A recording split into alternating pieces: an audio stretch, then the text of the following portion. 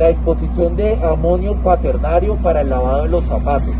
Lo que establecemos en el protocolo es que el lavado de zapatos se haga con amonio cuaternario al 70%. Lo segundo, que a la entrada estemos disponiendo de mascarillas, guantes, tapabocas.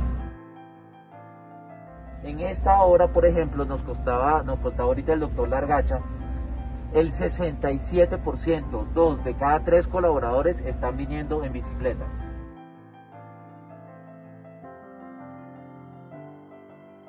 Una es la ropa del desplazamiento y otra es la ropa de trabajo. Cada cuatro personas por cuarto, el distanciamiento, todo está muy bien hasta el momento. Tenemos lavamanos, lavaboca, lavabotas, todo.